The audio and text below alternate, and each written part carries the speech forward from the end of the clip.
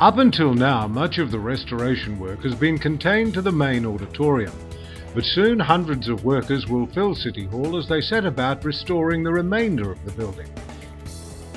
Heritage walls and floors are being covered to protect them from these major works that will involve heavy machinery and materials coming in and out of the building. Honour boards are being taken away for storage and the next task will be the removal of heritage light fittings. But brace yourself, these are no ordinary light fittings. Like much of the work inside City Hall, this will be a task of grand proportions. Want to see what happens next? Keep an eye out for future updates.